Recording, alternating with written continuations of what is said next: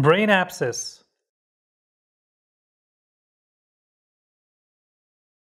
Introduction. Brain abscess is a focal collection within the brain parenchyma which can arise as a complication of a variety of infections, trauma, or surgery. It usually results from trauma to the cranial space, such as from neurosurgery, ENT infection spread, or dental infection. Etiology Streptococcus from sinusitis, Staphylococcus aureus from trauma, anaerobes from chronic otitis media. The most frequent cause of brain abscess are Streptococcus and Staphylococcus species. Among these species, Viridans streptococci and Staphylococcus aureus are the most common. Anaerobic pathogens. Anaerobic bacteria are common constituents of brain abscesses. These organisms generally originate from the normal mouth flora and are most commonly associated with solitary brain abscesses originating from otorhinolaryngeal infections. Most brain abscesses are bacterial.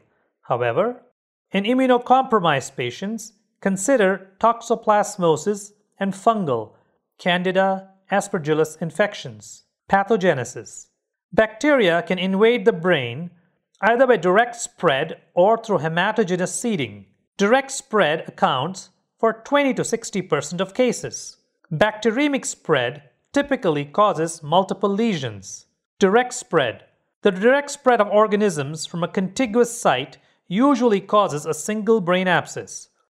Primary infections that can directly spread to the cerebral cortex include subacute and chronic otitis media and mastoiditis, spread to the inferior temporal lobe and cerebellum.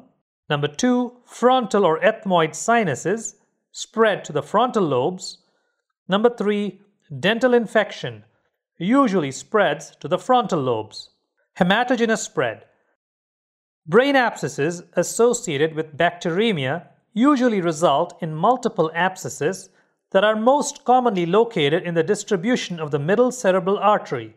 Abscesses usually form at the gray white matter junction where microinfarction damages the blood brain barrier.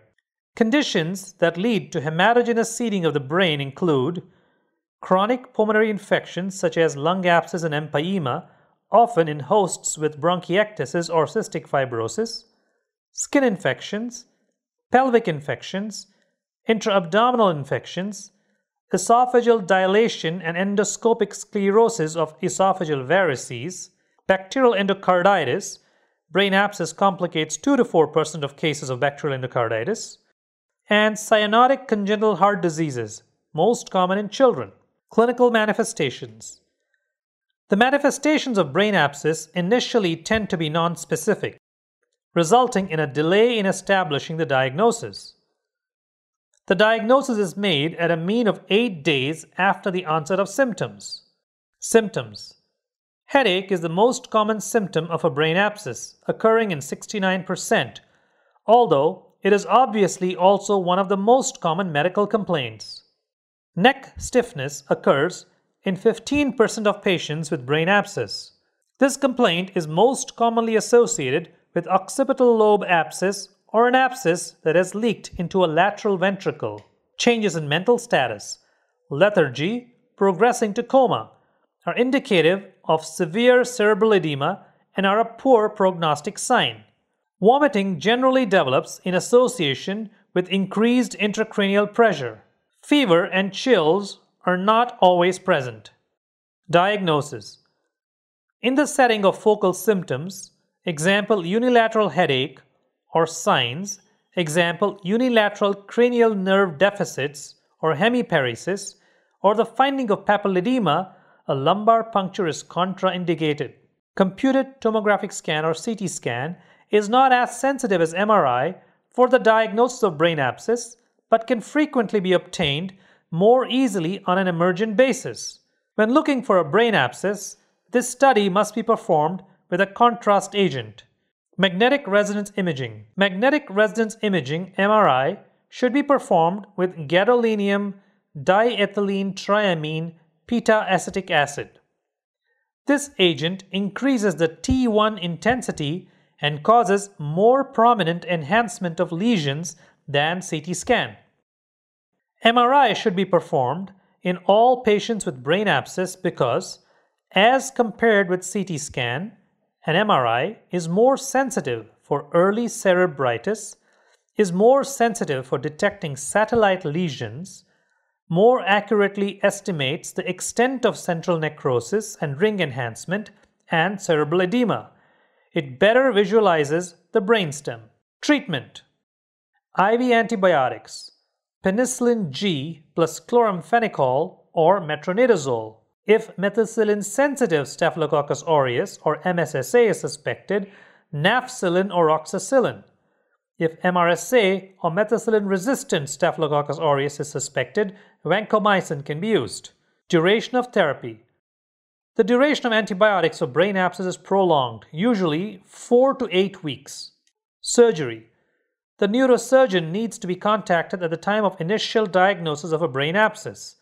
Needle aspiration and surgical excision have both been used to treat brain abscess and are now also required for diagnosis prior to the initiation of antibiotic therapy if possible.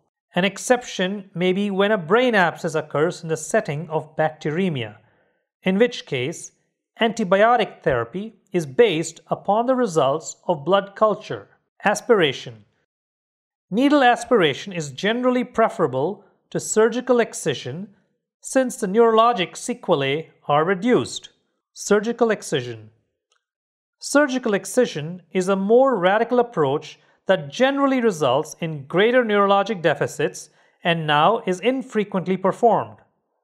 However, excision may be the initial treatment of choice in the following circumstances traumatic brain abscesses to remove bone chips and foreign material, encapsulated fungal brain abscesses, multiloculated abscesses. Glucocorticoids, like dexamethasone, should be used when substantial mass effect can be demonstrated on imaging.